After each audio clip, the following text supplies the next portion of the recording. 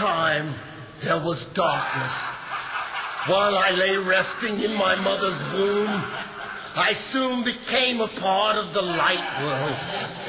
Young in body, evil at heart.